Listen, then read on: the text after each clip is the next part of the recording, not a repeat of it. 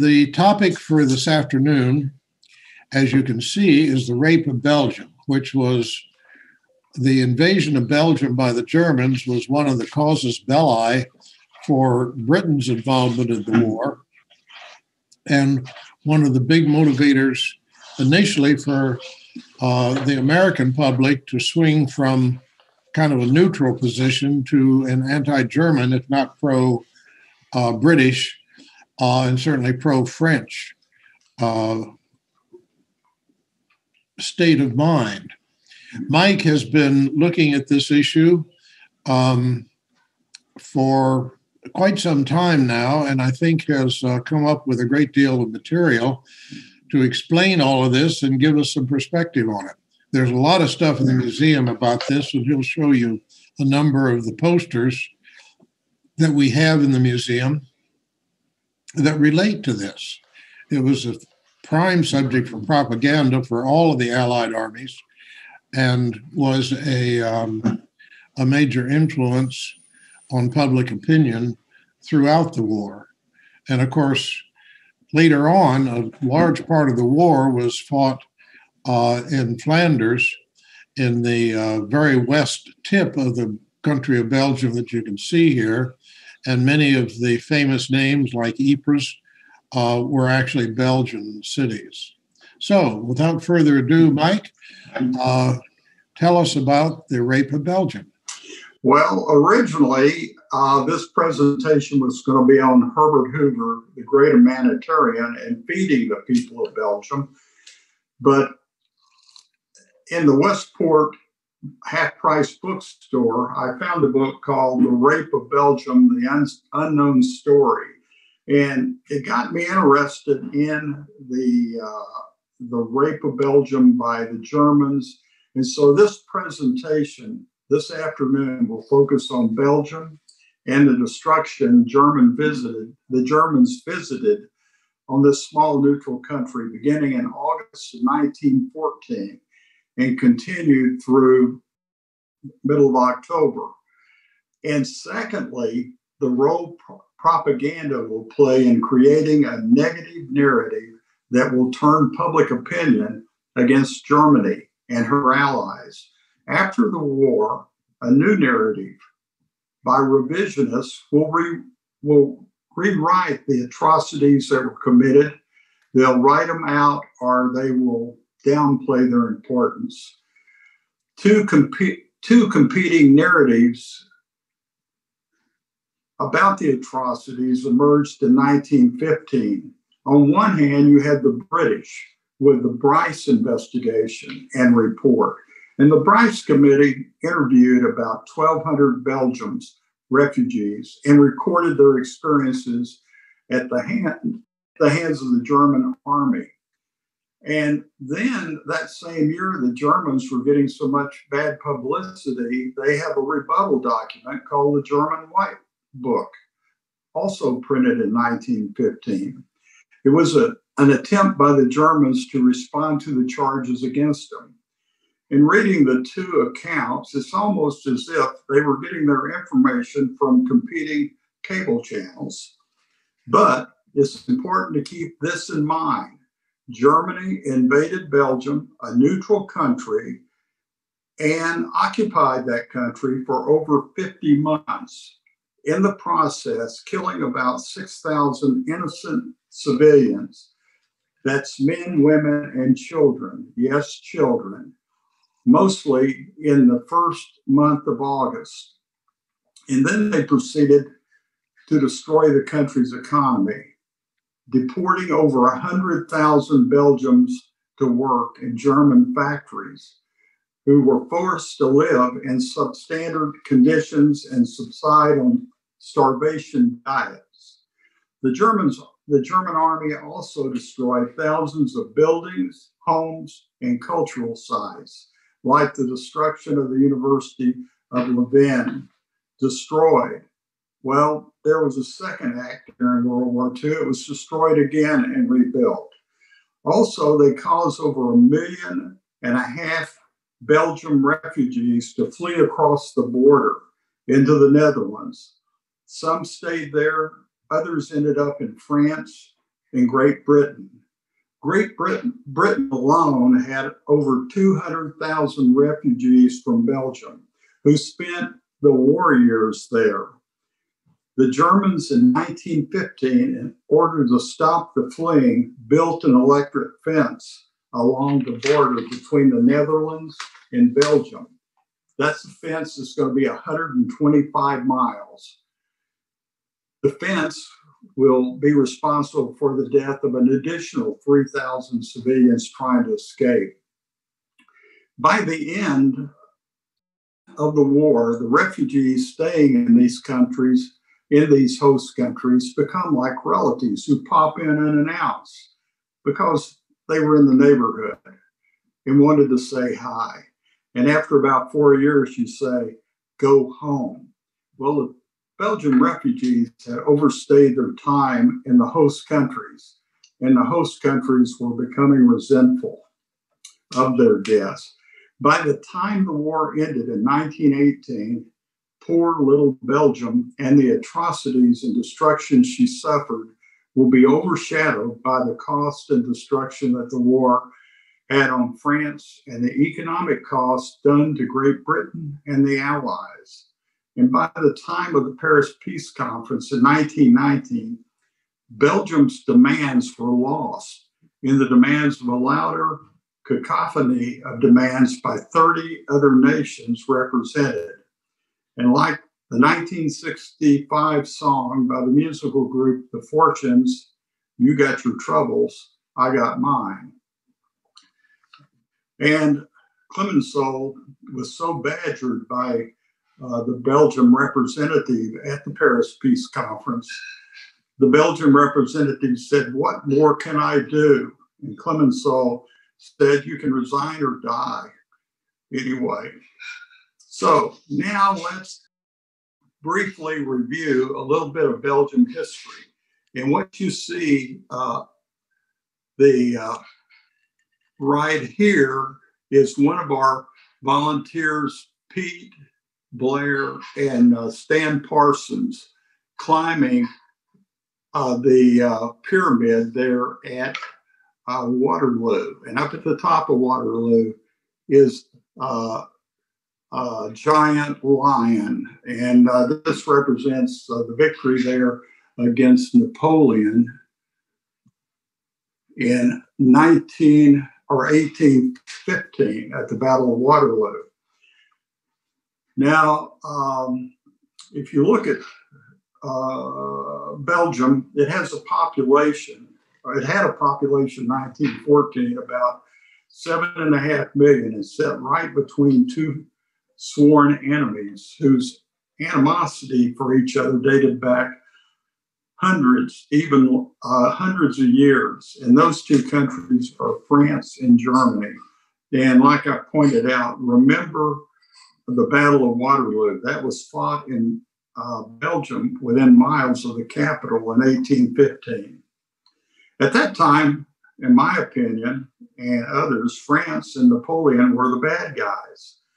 Germany was not yet a nation, but Prussia and Hanover fought on the side of the British and the Netherlands. Napoleon lost and was sent packing for the last time well, in 1830, the southern part of the Netherlands revol- revolted uh, against uh, the Netherlands and, with the support of France, declared their independence.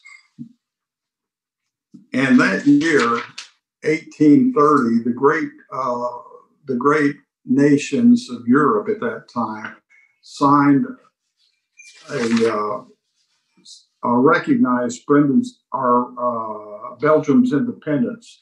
And in 1839, the Netherlands belatedly recognized the independence of uh, Belgium in the London Treaty of 1839, which guaranteed that Belgium would be a neutral country, and that neutrality was guaranteed and signed by Austria, Belgium, France, German, and the German Confederation, Netherlands, Russia, and Great Britain. If you uh, know your Victoria on PBS, Lord Palmerston, Palmerston was uh, one of the instru- uh, instrumental people in that creation. So when you look at the map of of uh, Belgium, got this area up here in yellow is the country's about 60% Dutch. And then down here, the red part is uh, about 40% French, Walloon. And then you got some uh, small German population over here. So you got three official languages uh, German, uh, you got the Dutch, French, and German. They're all recognized. And uh, so, anyway, and uh, one thing about them, uh, in a lot of respects, they don't like each other. And they, over the years, they squabble, but they come together when they're attacked, like two brothers. So, anyway, um, so in when you, uh, so between 1839 and 1914, Belgium had prospered. Uh, in 1914, Belgium comprised about uh, 2,636 communes. For a small country about the size of Maryland, uh, that's a lot of uh, subdivisions. The communes uh, were the self governing they were self governing. They had control of, over their schools, public works, factories, and even the militia, which is uh, at this time the civilian guard. I'll talk more about that in a few minutes. Conscription was a curse, and as late as 1909, a recruit could buy a substitute replacement, just like in the American Civil War. Teddy Roosevelt's father uh, got a replacement. As a result of being neutral, Belgium didn't spend a lot on defense. The focus was on the economy. And by 1914, and listen to this, Belgium was the number sixth ranked industrial country in the world. She had skilled labor, wages were low, they had a lot of energy, especially coal. They had great rail systems, great roads, and great beer, and the list goes on. So moving along, uh, we got in. This is uh, this is a new way of doing things for your iPad, uh, and uh, I'm still getting used. I'm a uh, senior elder citizen, and I have trouble with technology. But anyway, that aside, Belgium uh, moving along, Belgium did have a little shock. It was called the Franco-Prussian War, and in this, on this slide, there's four things I want you to see. Here's two old guys sitting on a park bench. It looks like. Well, one of them is Napoleon III, and the other is Otto von Bismarck. And uh, France has just gotten uh, just lost uh, they went to war with the Prussians and uh, they got uh, their plow claim. And here's Napoleon III. Uh, he, I think, he is nothing like his uncle. Well, genetically, I don't think Napoleon had any children or any. And Napoleon III was Napoleon the Light. Anyway, he surrenders at the Battle of Sedan in 1870 and in this, uh, in these uh, paintings, if you go down here, the uh, in this painting, this is the proclamation of the German Empire, and this is where the Germans really rub the nose and it rub the French nose in it. Here they are in the uh, Versailles in the uh, Hall of Mirrors, and Wilhelm is being declared Emperor of Germany. So you got this. Now, what I like about the Prussians, golly, they can fight, but they also love parades. And here uh, they are and uh, lined up. And they'll the last thing they'll do is have a parade there in Paris. And not a lot of people showed up. Very disrespectful. But in the bottom corner here, you have a painting called The Black Stain. And uh, let me bring it up a little bit. Uh, you have this instructor pointing to a map of France. And there's an area on the map that's in black. And he's telling this young lad who's in a military uniform that is Alsace Lorraine. And Germany took it from us in the Franco Prussian War. And the young man and the class, and the young man's in a military out, outfit, is going to be your generation that will have to bring uh, take it away and bring it back.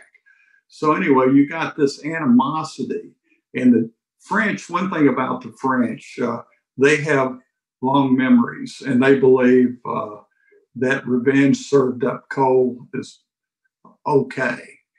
Well, anyway, we got uh, moving along. Um, the uh, back up here a little bit. So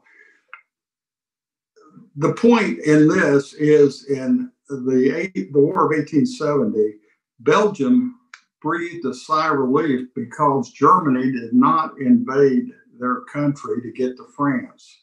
So their neutrality in 1870 was respected. But you know what? They had an uneasy feeling about what might happen in the future. So between the Franco Prussian War and 1914, they spent huge sums on fortifications around Antwerp, Liège, and Namur. Uh, the two major Belgian political parties, the Liberals and Catholics, and a third growing party, uh, the Socialists, did support defense spending on increasing the army, but fortifications was fine. They feel safe behind these fortifications. It wasn't until 1909 that a conscription law with teeth was agreed to. Now, the Catholics, and I agree with them, they worried that barracks life would corrupt young men and expose them to lascivious behavior. That's my words, and atheistic ideas. So, anyway, uh, that was that that's what was happening. And at this time the belgium army was not that good. Now one of the here is one one idea and i'm going to mispronounce it but i'll give you the east texas pronunciation. Franz tier and what it means translated it means free shooters. And during the franco-prussian war uh, Napoleon surrendered, Napoleon III surrendered, and he was the last emperor of uh, France.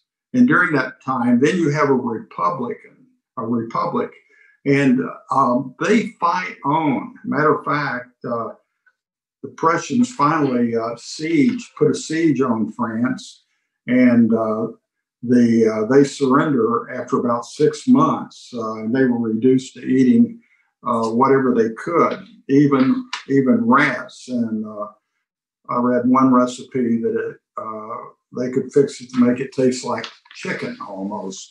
But anyway, these free shooters, and you can see in this black and white, there, here's one, here's one, here's one up here, and one behind the tree. And the Germans are coming up the road. This is in the Vosges in the mountains uh, of France. And so, anyway, think of these, uh, this, uh, the frontiers as um, a people's war, and they and they would uh, they would ambush. They'd work in bands fighting at an asymmetrical war. Think about guerrilla warfare against the Germans, and they blow up uh, lines of communication and um,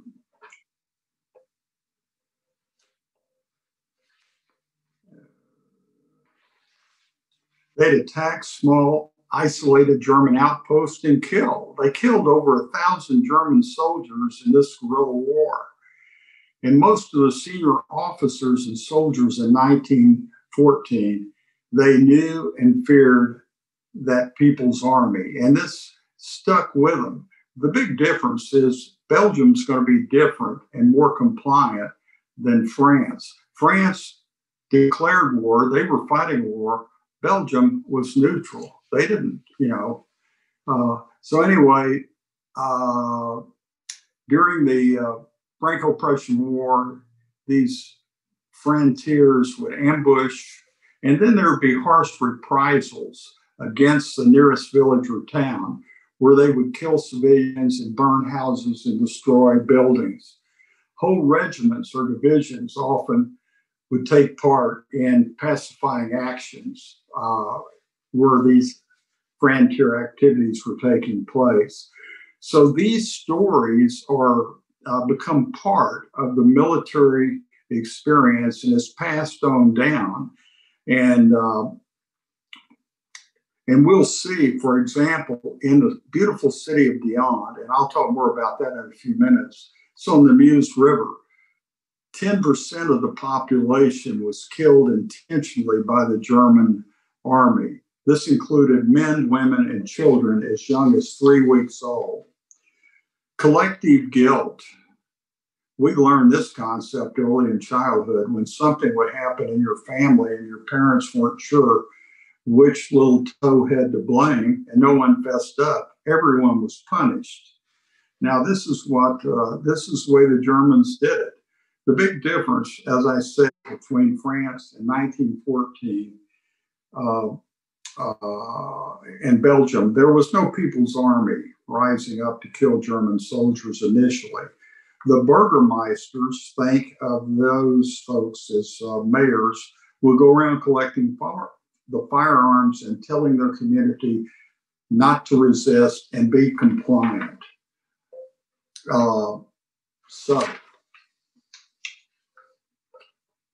now, let me move here.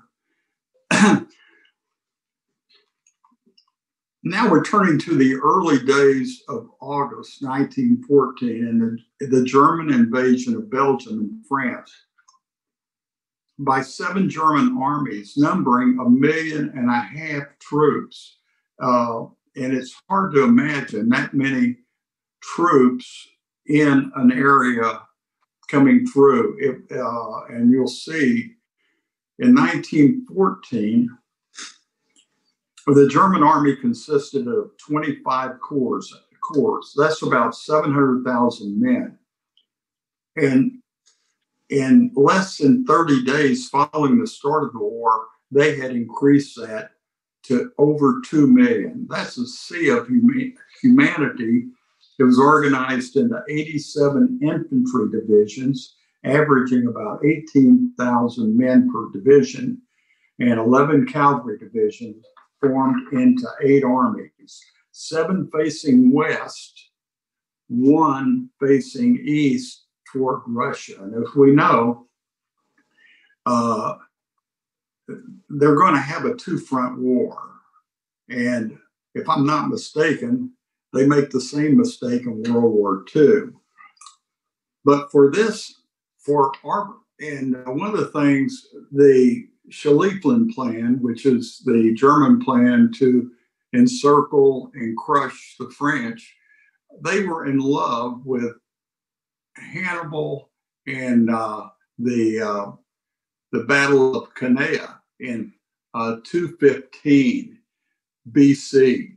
And here you go. If you look in the upper corner here, right in here, you can see in blue is the Romans. No, they're in red, and in blue, a bow-like uh, line is the uh, Carthaginians led by Hannibal. And Hannibal only has about 50,000 men. The Romans have 86,000 men. And the idea of the envelopment is they would draw the Romans into the bow, and then the cavalry would come in and encircle them, and they would crush them and kill them in, in uh, tight combat. And you can see the Romans had 48,000 killed, and uh, the uh, Carthaginians had only about 7,000. They won the battle, but what the uh, uh, Germans need to remember Rome won the war. So, anyway, but we're going to be we're going to be concerned with basically three armies the three armies that are uh, charged with going through belgium. And uh, here we have uh, prince albert. He's the king of, uh, of belgium. John french and Lanrezac he is uh, he is the commander of uh, the Fifth Army. And then you got these three guys over here, which I'll talk about in a second. And uh, so you're going to have about 700, over about 750,000 between all three of these armies coming into Belgium. Now, the generals leading these armies, they believe in the Prussian idea. The Prussian idea, what's that? Bismarck, whose famous quote was, The great question of the day are not decided through speeches and majorities, but by iron and blood. Now, Bismarck left the world stage in 1890 when young Wilhelm decided he didn't need Bismarck and could run the show himself. Wilhelm loved the military, and according to G.J. Myers in A World Un- Un- Undone, Wilhelm owned over 300 military uniforms and would change uniforms up to a dozen times a day. One of the jokes making the rounds of Berlin is he wouldn't visit the aquarium without changing into his admiral's uniform. Without the guidance of Bismarck and left to his own devices, he's at the mercy of the military. Respect to the uh, as with respect to the Belgians, the German military had no respect for the Belgian army or the Belgian people, and will and they will underestimate the will of the Belgian army to resist. As far as the London Treaty of 1839 when informed Britain would enter into the war if Germany invaded Belgium. The German chancellor said, I can't believe Britain would go to war over a scrap of paper. Germany referred to the Belgians as chocolate soldiers. And a Belgian soldier said, one of them said, Well, we're only good for parades. And the Germans, they love parades. But anyway, Albert and the government decided if invaded, they would fight to protect their neutrality. There was much debate within the Belgian cabinet, but international law guaranteed that a neutral country could repel invaders and retain its status and rights as a neutral. An issue that proves to be important later, but in the present international, but in the present, international law will not be much comfort. On the other hand, in 1902, in the 1902 manual, The Usage of War, the German military leadership declared that international law should be violated if doing so would crush a civilian uprising. Well, the Belgian army against the German army well, it'd be like David fighting Goliath, but David wouldn't be allowed to use a slingshot. And God, like Woodrow Wilson, would remain neutral, if you remember that Bible story. Anyway, little Belgium decides to fight the German bully with the anticipation that she'll get help from her friends. Now, on this slide, let's just take a look at the three German generals. Uh, at the top, let me get my marker. I'm really uh, getting good with this. Yeah, right there. you got uh, Van Kluck. He's going to lead First Army. He's 68 years old in 1914. He's seen action in the Franco Prussian War of 1870 and was wounded twice. During the march, uh, during his march through Belgium, he ordered his troops to murder hundreds of civilians and burn villages. General Bulow here will lead Second Army. And guess what? Let's see. Uh, Van Bulow uh, also was in the fifth. Uh, he was uh, he was born in 1846. He's also 68, and he served in the Franco-Prussian War. And so, and then Third Army is Carl Van Bulow is considered a war criminal for massacres in the Ardennes on August 20th, and a few days later in Leffe. He ordered the killing of men, women, and children. And I've already mentioned uh, uh, the uh, Liège. But anyway, uh, when asked, how do you think history should remember us? He said, well, we should write history. And then last, you got General Hausen. Golly, I could win the lottery. Each one of them, all three of them are 68. And they were all three in the Franco Prussian War. And uh, so, anyway, upon mobilization, Hausen uh, will lead the Royal Saxon Army, uh, and it'll become the Third Army. And Hausen was uh, given the command. His army participated in the Battle of uh, the Frontiers and mainly in the Battle of Dinant. And we'll talk more about that uh, uh, shortly. And anyway, all three of these generals are tough. They've seen war, they were in the Franco Prussian War, they saw how the uh, uh, French tiers, the frontiers uh, would fight.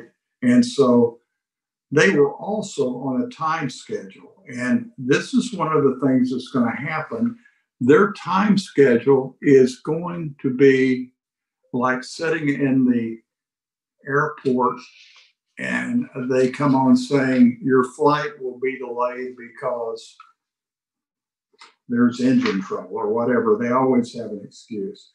Anyway, so now um, take a look at, let's look at the lineup. Now, the matchup in this corner, we have the Belgium, the Belgium Army. And you can see here the Belgium army marching. They got dogs pulling uh, their uh, guns. They got top hats that look like they'd make good targets, but not much protection. And so, and there's about 120,000 in the regular army. Now, they don't have a lot of discipline because they've been a neutral country they're very slack on giving salutes and following instructions. So we have those folks. But then we have, oh, and I didn't mention, they only have 102 machine guns. And I think the Germans have a few more. And then you got the civilian guard. There's 46,000 in the civilian guard.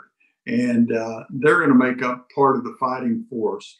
But in October, the Germans threatened to shoot them as uh, guerrilla fighters. Uh, and so, anyway, they're disbanded, and the uh, ones that can will join uh, the regular Belgium army. So then you got the leadership. And this is really key. Belgium is fortunate uh, that Leopold II, King of Belgium, dies in 1909. He had been on the throne for 42 years. He was corrupt, greedy, amoral, and that was his better qualities.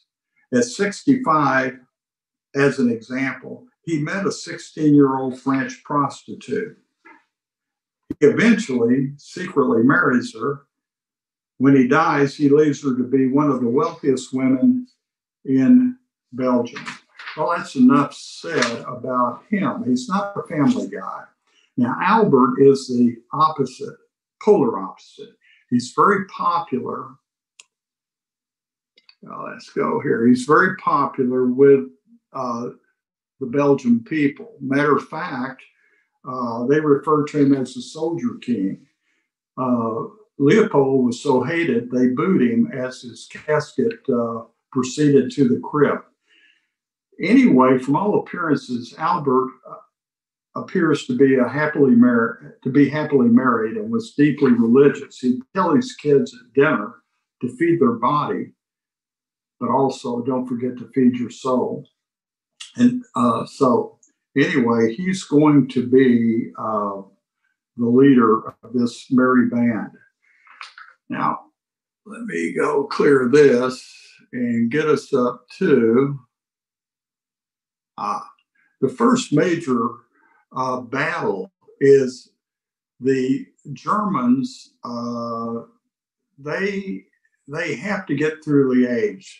They have to break this fortress because they're on a time scale and uh, they need to open up the Meuse Valley uh, so that they can get all 300, uh, 800,000 men uh, marching. And so here, what you got is the city of Liège is the third largest city, and it's strategically located on a high bluff overlooking the Meuse River.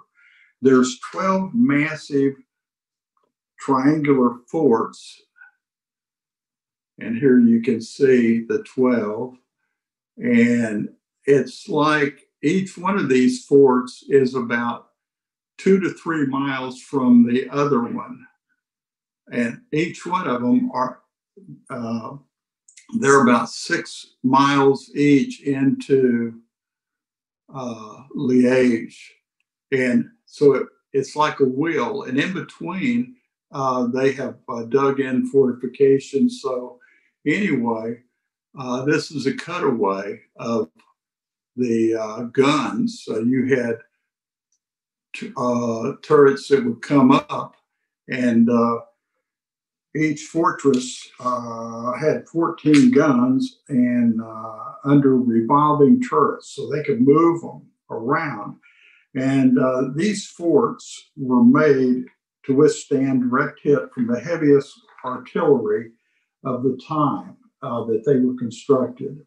And world opinion was these forts, uh, fortification could stand off uh, enemy attack for at least nine months. Well, the problem is they haven't met Big Bertha yet, and so that's coming. Now, uh, here, Van Bulow Second Army, numbering some 320,000 men, began their attack on Liège and its 35,000 troop garrison. They think there's only 6,000 there, but the uh, Belgium Third Division is these has been uh, brought in, and uh, so anyway, uh, the uh, Van Bulow puts Emich, General Emich, in charge of the uh, Meuse, Army of the Meuse. And he's allocated 30,000 troops. And they think uh, they can, that after two days, they can knock it out. Well, it isn't going to happen. Uh, the uh, while Emich was supposed to open up Liège, the uh, other, the big army, uh, Second Army, was uh, still coming together. So, anyway, they put up a fight. For example, the Germans, let's here, uh, the Germans will fling themselves in frontal attack on uh, on Liège and the uh, and an example, now one example here is uh, the 34th Division comes in right here and comes in and does a frontal attack. And on the first day, they're going to have 30 officers killed and lose about 1,500 men. And they're not happy campers. So, anyway, uh, now Liège, the city of Liège, will fall when the 14th, this red line here, on the 7th, all third division takes off and they're headed back up to Antwerp. And so the commander of the 14th here is killed. And there's a guy that's riding along as an observer, and that's uh, Ludendorff. And so they go across and go up to the citadel and have an easy way to get there. And they're also using human shields, which uh, they tell me is against the uh, the rules of war. He knocks on the gate and they surrender. So now you got the city is surrendered, but all these forts are still going. And they've lost so many men that um, by August 8th, they have about 3,000 dead and wounded. And so what they're going to do is they send in 30,000 more troops. And uh, this is going to be a siege type affair. And uh, Ludendorff goes back, takes train back across, and says, Hey, we need some heavy equipment here. And so uh, and you can see the Germans, you know, when you're coming across in waves like that, you're going to get get uh, some wounded. So they bring in Big Bertha. This is a 420 millimeter uh, gun. It gets there like it uh, on uh, August 10th. It takes two days to get it uh, put together, and then you've got Skodas or ashokas over here, which are also heavy. They're like a 30 millimeter, I think. Yeah, 300. Uh, it's a big gun. And so, anyway, they knock out the forts. And uh, by August 15th, the last fort is um, is is uh, is surrenders, and that would be Fort Loncin. Now it gets hit with a direct hit, and you can see here it gets hit with a direct hit, and uh, a magazine, uh, powder magazine, explodes, and you can see compared in size the damage. And one of the problems is there is no reinforcement like rebar or reinforcement like they used uh, like Fort Douaumont. Uh, it was re- it had reinforced concrete, and so the Belgians uh, could have gone to maybe Home Depot when they were pouring the concrete. But anyway, uh, now now the Meuse Valley is open. And what you're going to have now is this the Germans are mad. They've been put behind schedule. They were supposed to be uh, take two days at Liège. They're they finally knock out the last fort on August 15th. On August 18th, they start moving.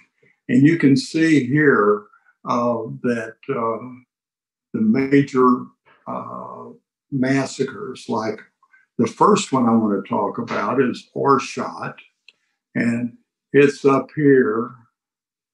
Let's go right here.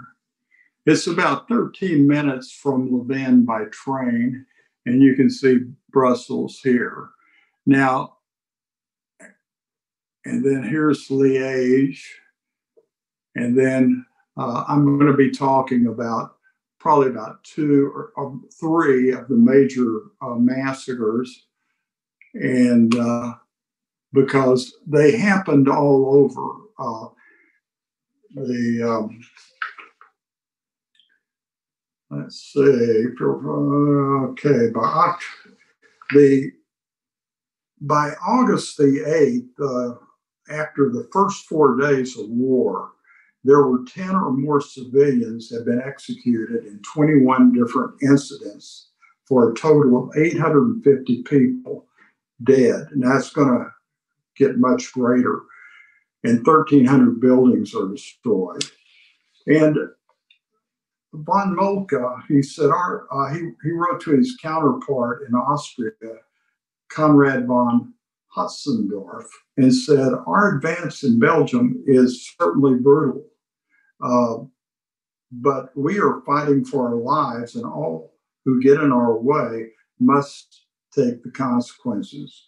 By October the 5th, 14th, the world's reaction to Germany uh, will cause Germany to end the most, for the most part, the mass executions and destruction of property and uh, cultural sites like Levin. The uh, destruction of Levin will be just massive bad PR for the Germans, even though it has stopped.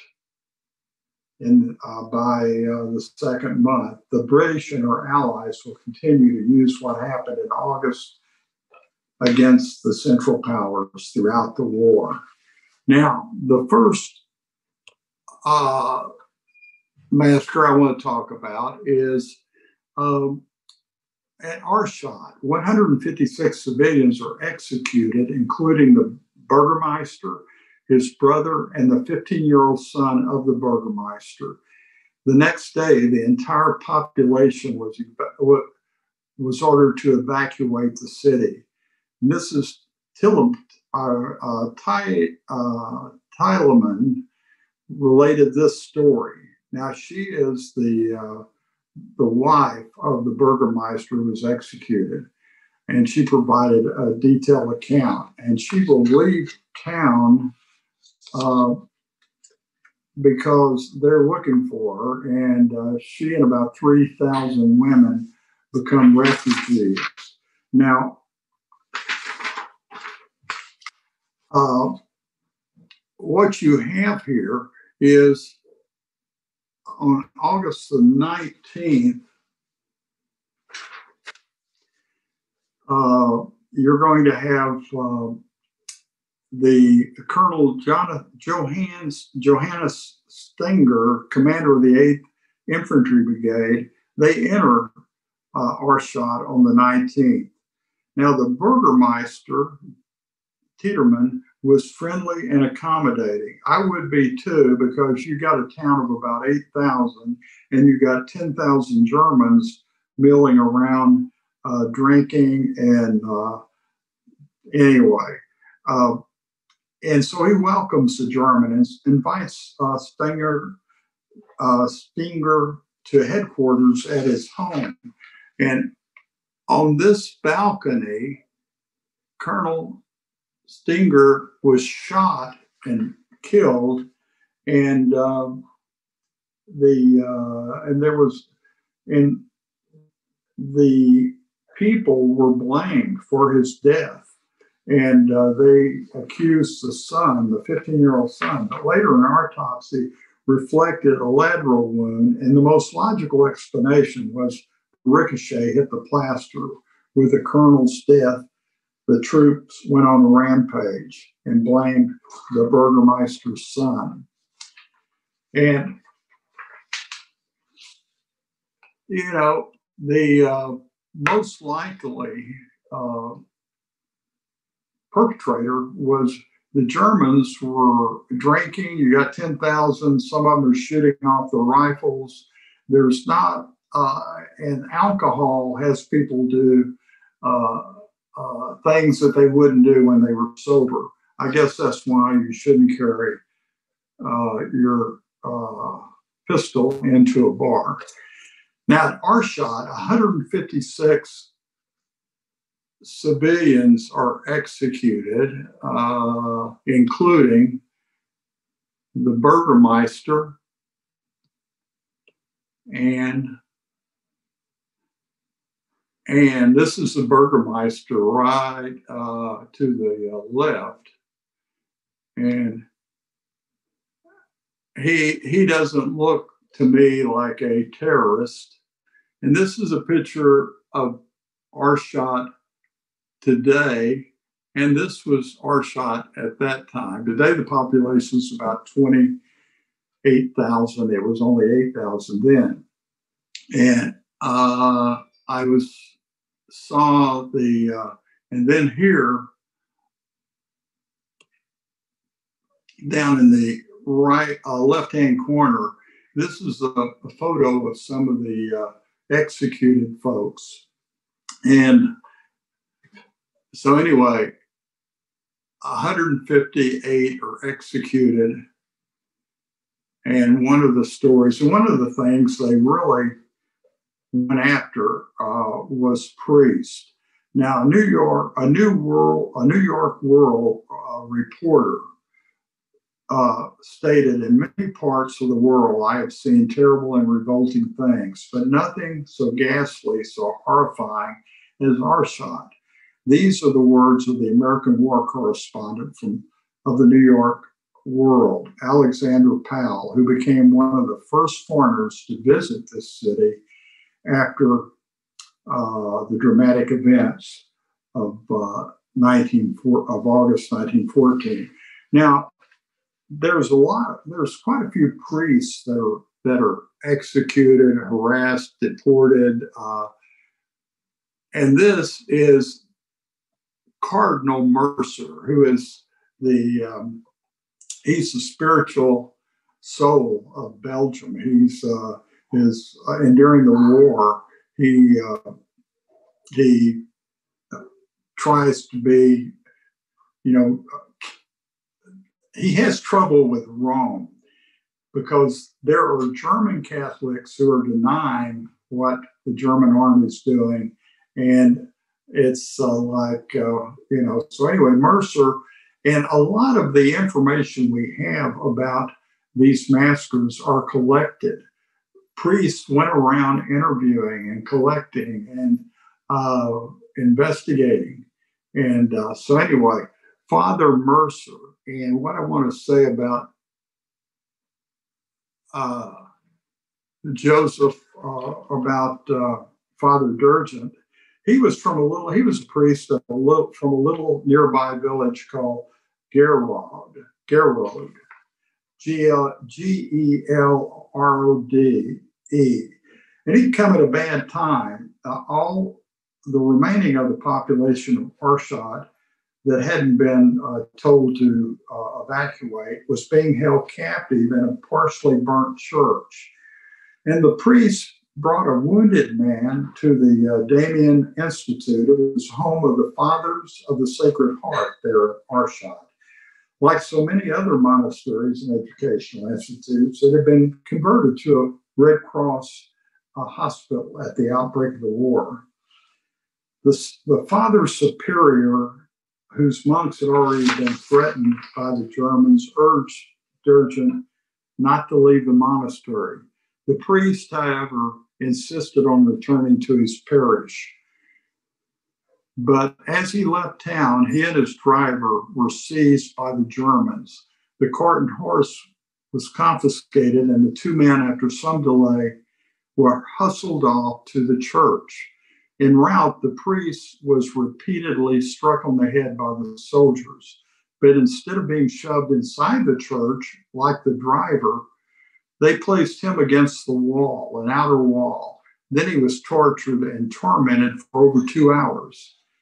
He was stripped of his cassock, and here he is standing there and his, uh, you know, uh, just uh, very vulnerable. And the German soldiers committed unspeakable human acts on Father Dergent. Uh, I read them. You can read them. I'm not going to tell you about them. At various times over the next two two hours, though in prison civilians who were permitted to go outside the church to relieve themselves caught glimpses of the priests they returned horrified. Eventually, the Germans got tired of the game and they took him down to the river, shot him through his body in the uh, in the water. It floated downstream. He was finally given a church burial, and uh, Cardinal Mercier wrote, I made a pilgrimage to his grave, Cardinal, uh, with to his grave, and amid the little flock which later lately have he has been tending with the zeal of an apostle, there did I pray to him from the heights of heaven. He would guard the, his parish, his diocese, and the country. Uh, we can number, we can neither number our dead nor compute the measure of our ruin. Father Dergent was 44 years old. And that's just one example. And then we come to another one, uh, Tamines. And this is located on the Sambre River. And it's in a little mining town. It's a little mining town, and it's uh, in the Borinage region. That's the coal fields between Namur and uh, Char- Charleroi. And the little church stands on the green overlooking the river. Here it is today, and here it is in World War One.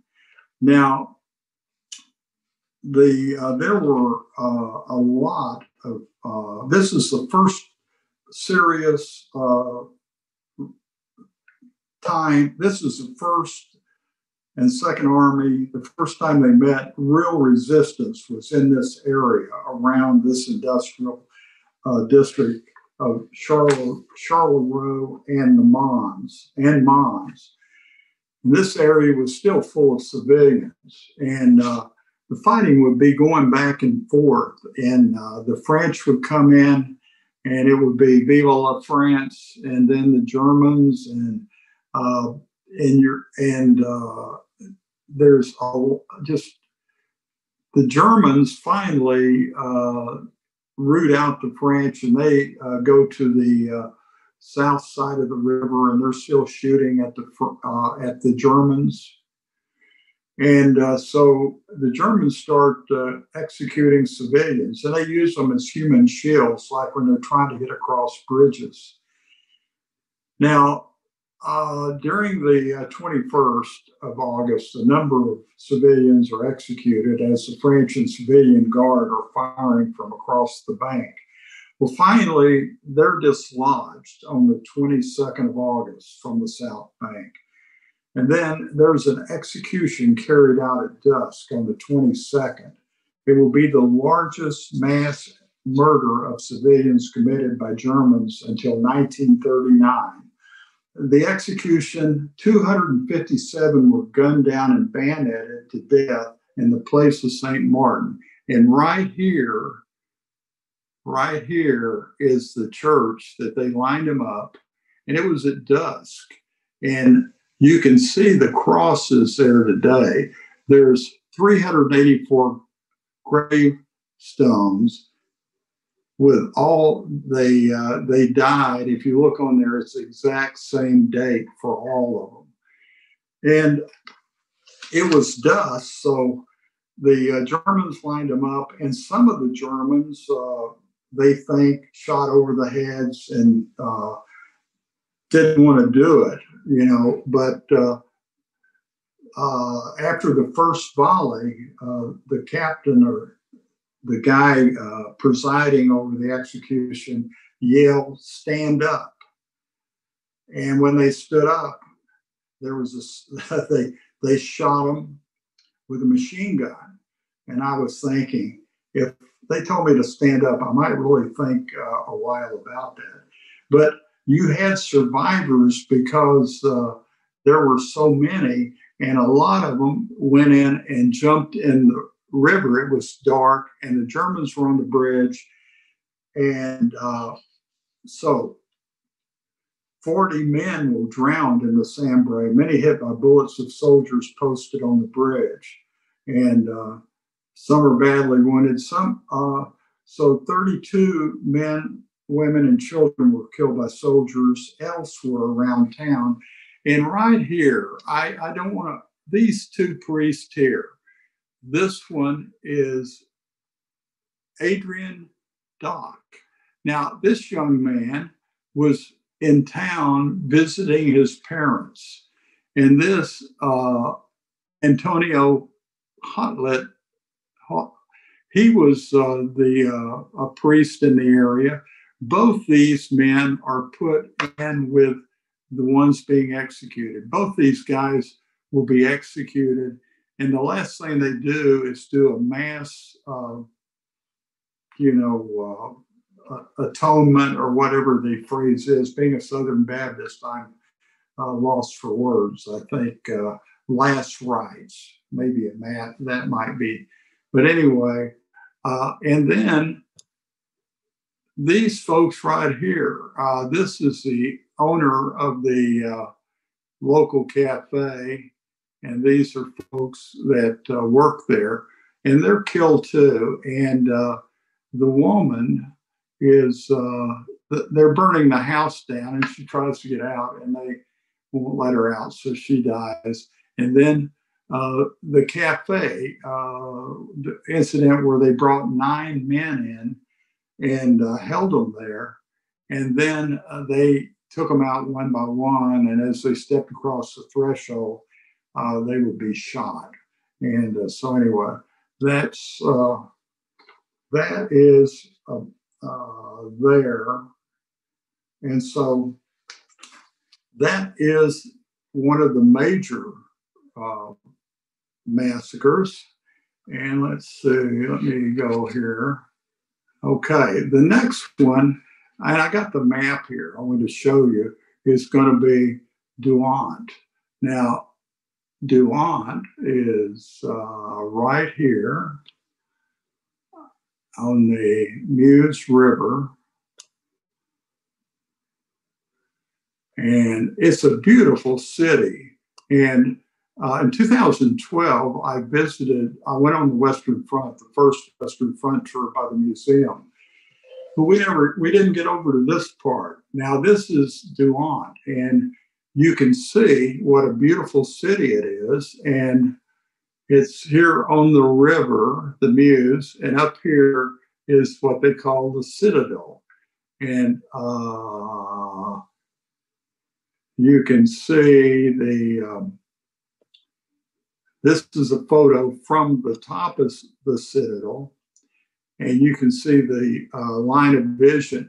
Now, one thing I want to point out this is the city a month before the Germans came. This is the city after the Battle of Dinant, and all these houses were burnt, and you're going to have about 10% of the population who are killed because the fighting, this is where the French Fifth Army and the Germans meet and they're fighting back and forth. They're fighting for the bridge to get across, and uh, human humans are being used as shields, and it's it's really a chaotic scene.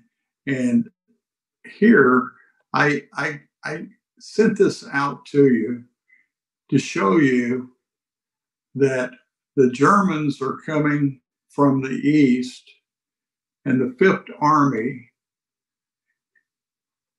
ends up over on this side. And then the Fifth Army is going to retire. And on the uh, 22nd and 23rd, I think it is, that's when you're going to have so many people executed. For example, up at uh, Leffe, you're going to have 300 uh, civilians executed up here at Leffe and St. Jacques. And this is a working class area. So a lot of these are, are workers like uh, they uh, over a hundred were hiding inside one of the uh, the factories, and then they came out, and the Germans uh, summarily executed them. And you can see uh, the manufacturing uh, of tissue, and I assume they make Charmin or whatever. I'm not sure. Uh, let's go right here. Let me clear this up. Yeah, right here, there's 146 executed. And down here at Neffe, there's 88 executed. And at Tschoffen's wall, here's Tschoffen's wall. Here's Tschoffen's wall right here. And at Tschoffen's wall, you're going to have 137 executed. And right here, these are some of the terrorists. He's a banker and his two sons. One's 19 and one's about 20. And, uh, you know, they get put in there with the rest of them and, and shot. And uh, so, anyway, and then down here at uh, the Bourbon's Wall,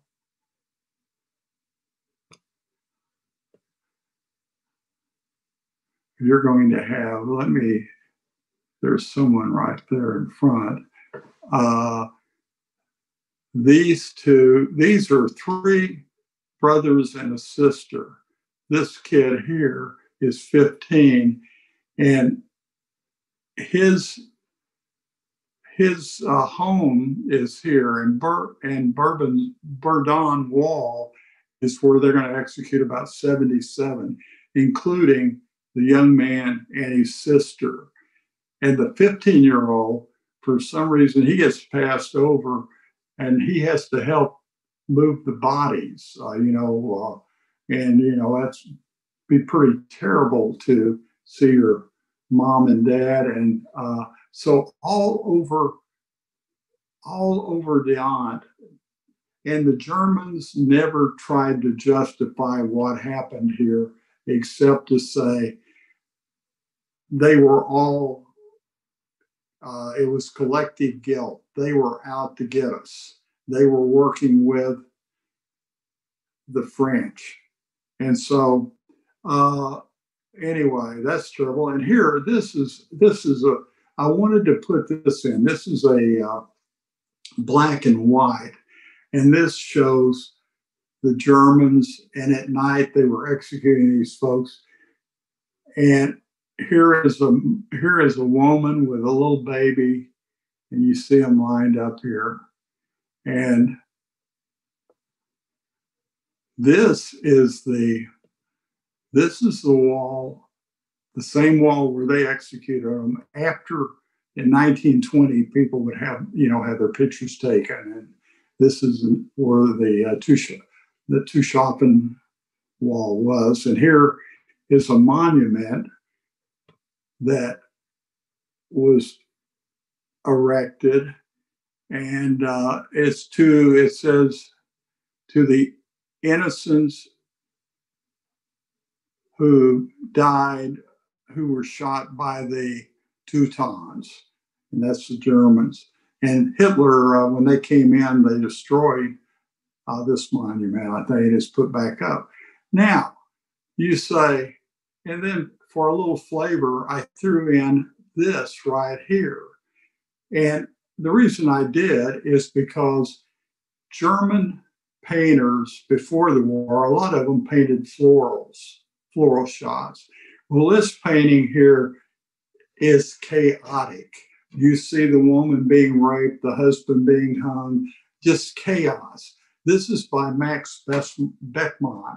He was a uh, he he drove he he was in the German army and drove uh, an ambulance. So you can tell after the war, you can uh, a lot of us uh, people come back from war and they don't talk about it.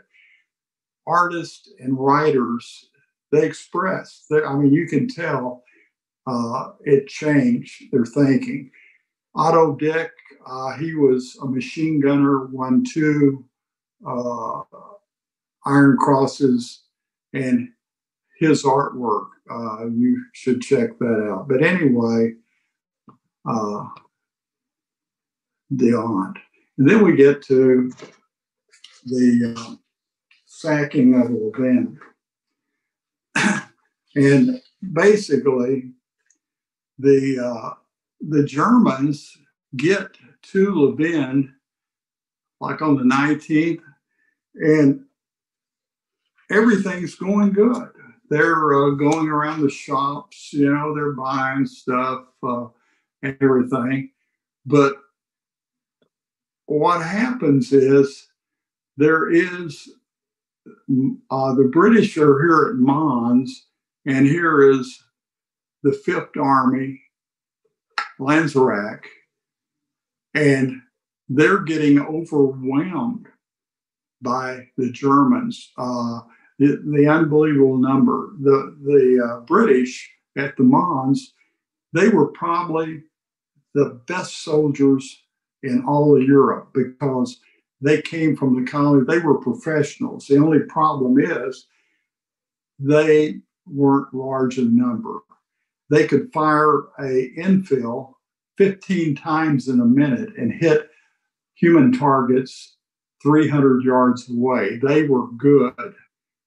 Well, anyway, the up here in Antwerp is King Albert, and they send out they they want to relieve pressure from the Germans on uh, the French and Brits. So they they do a sortie out of Antwerp, and here at uh, Malines, uh, they uh, come in contact with uh, the Germans sent out from Louvain, and uh, so there's uh, there's combat, and the uh, the the Belgian troops go back. Well, then the Germans go back into Louvain, and oh, and I don't know. I think that one of the things about the Germans, uh, they had a lot of reservists, young men who were pulled out of civilian life and put in to a tough situation. Well, anyway, they came back. When they came back, they lit the place up, and Belt and uh, the uh, the library was destroyed. I mean, they destroyed uh, books on all, the evening of August 25th. The Germans ravaged the city of Louvain. They deliberately burnt the university library. They tried to say they didn't, but they did. And they destroyed over 230,000 books, 950 manuscripts, and 800 print 800 books printed before 1501. Civilian homes were set on fire, and citizens often shot where they stood. With over 2,000 buildings destroyed and 10,000 inhabitants displaced, large quantities of strategic material, foodstuff, and modern industrial equipment was looted and transferred to Germany. Now, these actions will bring worldwide condemnation. And that brings me to the investigations. And there's three, there's two I want to talk about. Up at the top, Lizzie Van Zyl. And I put her in because the Bryce report, Lord Bryce uh, will head this, uh, this committee to study what happened uh, in Belgium. And he was respected by the Germans and by uh, the British because this little girl, she died in a British concentration camp in the Boer during the Boer War.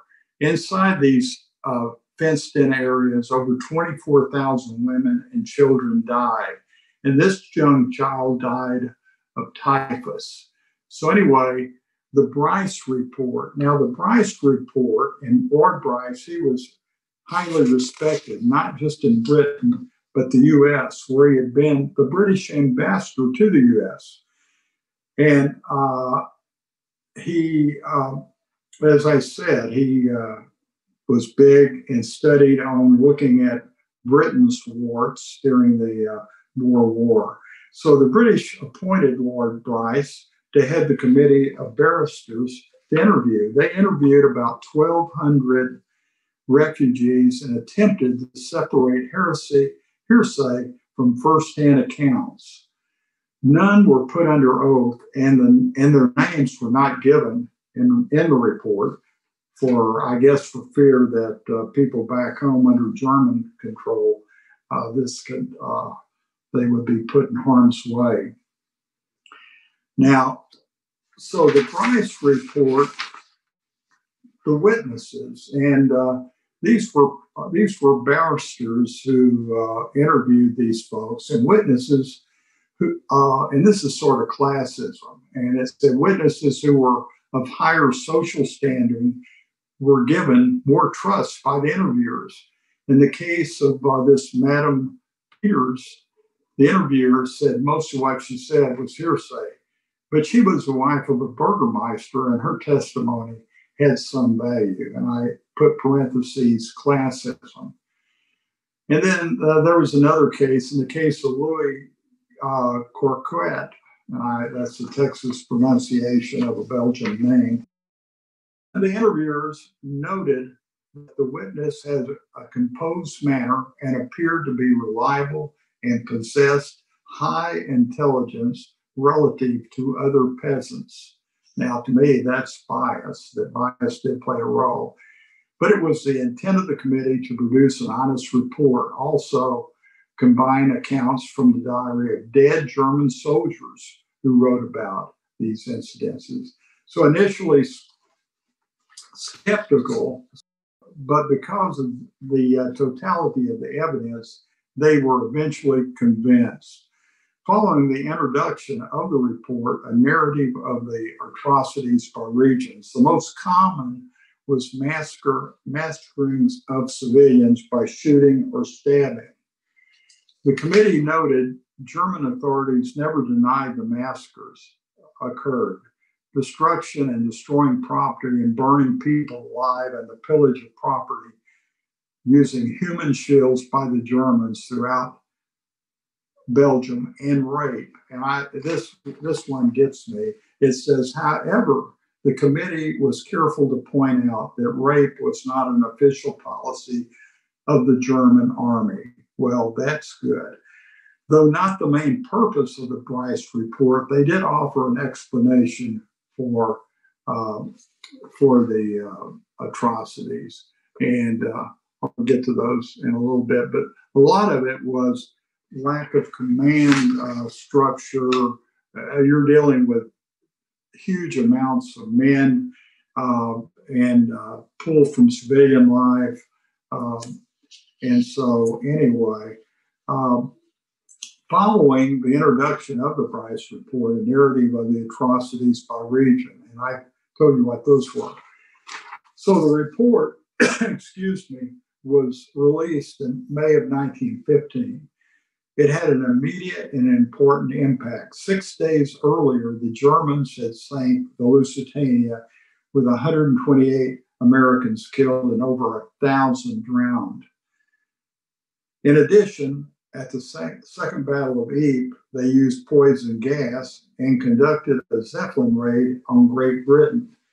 So Germans standing in Britain, especially, and America and the American press were very poor. 41,000 copies of the Bryce report was distributed, and every major New York newspaper had published the report. It's translated into 10 languages. The report will be used to advance the war effort and eventually influence the United States into entering World War One. Now, the Germans realized that they were losing the propaganda war, so they launched their own campaign to counter the Allies. And the Germans attempted to counter the negative uh, press was hamstrung. The British, by the British, uh, the British had an effective sea blockade. And secondly, the British cut the cable, the Atlantic cable that the Germans used to communicate with America. So the Germans did have two radio stations, but in 1915, uh, they were seized by the government. Wilson was trying his darndest to keep us neutral. Despite the disadvantages, they did publish the White Book. in 1915. The German government asserted that Belgian citizens had launched a savage guerrilla attack against the German soldier, and that the Belgians of every grade, age, and sex had participated. This was flimsy and really didn't hold up. When possible, prisoners were giving a hearing, and the Germans tried to avoid, they said, killing old men, women, and children. Thank God. I am. Uh, I could get the uh, vaccination early and not be killed. In Dinant, they admitted to killing many Belgians, but here again, they blamed they blamed them for their own deaths because they had collectively engaged in violence. Uh, they had German soldiers uh, testify, and uh, a lot of it was uh, I heard or they said in Germany, also, they did control what was printed. And Germans believed right up to the end of the war uh, that there was a people's war. And uh, in 1918, they also, right up till the end, they thought they were winning the war. And after they lost the war, they had to come up with a new narrative. And that new narrative will be while the soldiers were in the trenches, they were stabbed in the back by the Jews and industrialists, and that's the new narrative. Now, there was also the, manif- the manifesto of 93 German intelligence intellectuals, uh, including Franz Haber. Remember him?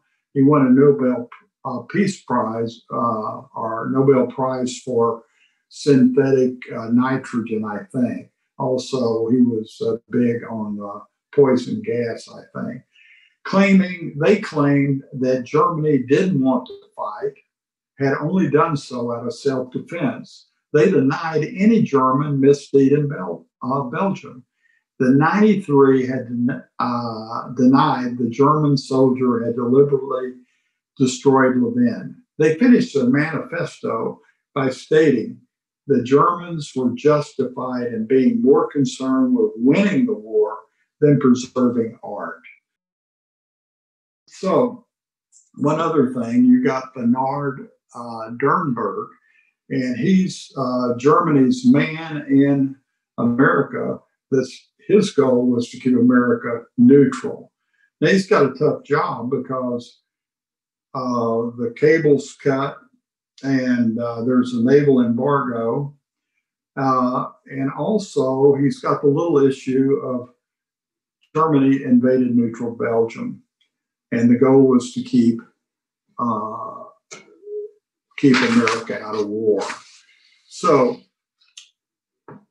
there is so so much. Uh, Barbara Tuchman made the comment. It's uh, research is uh, is uh, just really uh, she she loved to research. She said the hard thing. She said research was intoxicating because you kept going down different avenues, and this is true. And she said, but writing is hard, and there's so much, and what you're just hearing is uh, uh on the surface. Now, under propaganda, I do want to say, and this is uh, the historian Nicole uh, she commented that one of the tragedies of the British effort to manufacture truth is the way authentic suffering was rendered suspect by fabricated uh, tales. And um, accounts of German atrocities emulated from Germ, uh, from Belgium they were common, this will be the common focus of the British uh, propaganda. And I, I do want to hit uh, the, some propaganda posters. For example, the British used visual propaganda to gain support at home. The Bryce Report had an immediate impact. And for the first 17 months of war, 3 million volunteered they also, as I say, used posters and cartoonists. Now, we have this one here, the scrap of paper. And what what I want to point out here, this the uh, scrap of paper, uh, Germany broke a treaty. Well, if you're a working man and you're drinking in the pub, you say, and we're going to go to war because of that. I didn't know we had a treaty, blah, blah, blah. So uh, for the uh, elite and the upper class, this scrap of paper had meaning. So to get people on board, you had to have graphic uh, posters. For example, this one, Remember Belgium. And you got this young Belgian woman who uh, has uh, the German soldier has his foot on her, and blood is dripping down from his bayonet. And in the back, you have buildings burning. That is, and you want to keep what you want to keep your message simple. Remember Belgium. And uh, let's go here. Then here's one. This is uh, from uh, the Philippines, American Philippines, and you have uh, a German soldier nailing uh, this soldier on a like a cross. Now, and it's what you're saying is buy Liberty Bonds. I don't think they ever had any situation like this. Uh, but anyway, that is to get people excited. And here's one uh, Red Cross or Iron Cross. You try to denigrate the enemy. Wounded and a prisoner, our soldier cries for water. The German sister pours it on the ground before his eyes. There is no woman in Britain who would do that. There is no woman in Britain who will ever forget. So, here again, I think the German Red Cross nurses were probably uh, sympathetic. But anyway, there are people sitting around saying, how can we really get people excited? And propaganda. This is one of my favorite. Here is a dandy. He's walk, he's walking stick, and he's walking along, and he's getting man shamed. This Irish female says, Will you go or must I? And she's holding the rifle, and you can see uh, Belgium burning. And so, uh, you know, are you going to let your, are you going to look like a, a wimp in front of your woman? Get rid of that walking stick. Looks like the uh, quiet man. Uh, but then you have Remember Belgium enlist today. Uh, and so keep the message simple. And uh, let's go here, the next one. I like this one. This is in our museum, and it's Hun or Home. One of the things you try to do is denigrate your enemy. And you look at this, we know this is a German because of the helmet, but look at the arms, they're elongated. He is ape like, and so less than human. And this one over here, you have uh, destroy this mad brute. And you can see the gorilla is walking onto the shore that says America. And it says enlist. Now, this is something that really gets the American male going, gets him upset this fruit has this woman, and she appears to be uh, bare-breasted there. So you you bring all these things into it. Uh, now let's go here.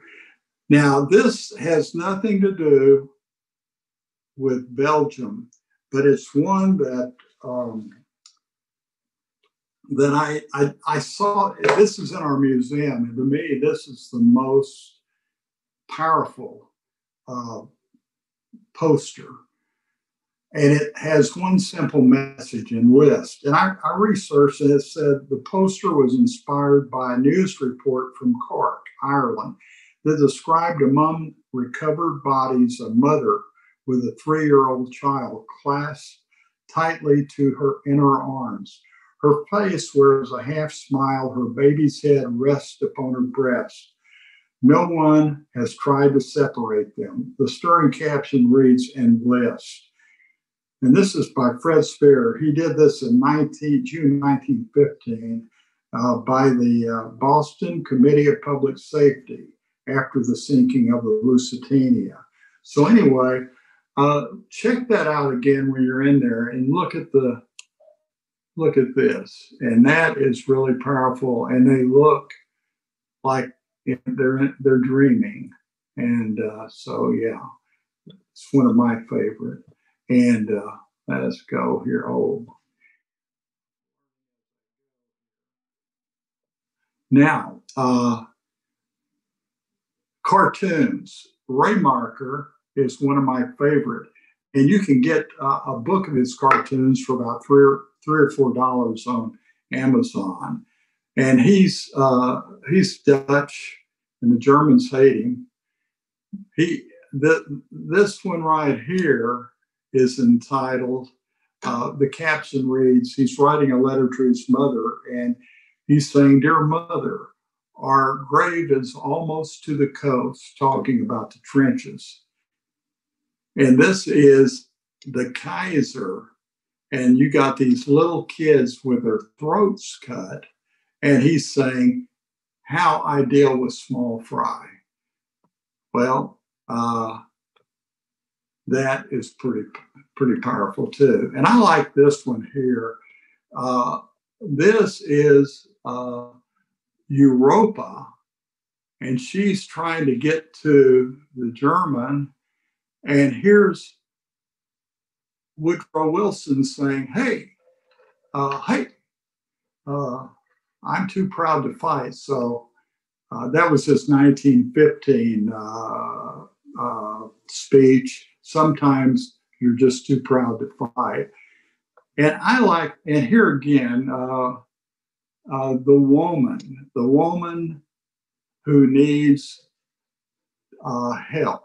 You got this German, he's there, and you got the, the poor Belgian woman chained up. And here again, uh, this is the Netherlands. I think they have probably uh, less censorship, but she doesn't She's bare breasted. So, very powerful cartoons. And I like this, these two right here. It says, It's all right. Uh, let's see. It's all right. If I hadn't done it, someone else would. And he's ransacking the house, taking what he wants. And the, the child is dead. And this one over here is Edith Cavell was the biggest, one of the biggest blunders by the uh, Germans was shooting Edith Cavell, a, a British nurse who was aiding uh, British soldiers and uh, Belgian soldiers to escape. Now here is Edith Cavell being devoured by pigs, and this pig has a iron cross on his uh, tail and then they got helmets on, and they're eating Edith Cavell. And George Bellows, and uh, he's an American artist in the 1920s. And this is uh, one of his paintings. It shows a German soldier cutting off the hands of a young Belgian who uh, they think is a franc-tireur or a free shooter. I don't think this was this has actually happened. I think the idea of cutting off hands goes back to Leopold II and the Belgian Congo. They did cut off hands of children whose fathers didn't meet their rubber quota. So anyway, this is very powerful.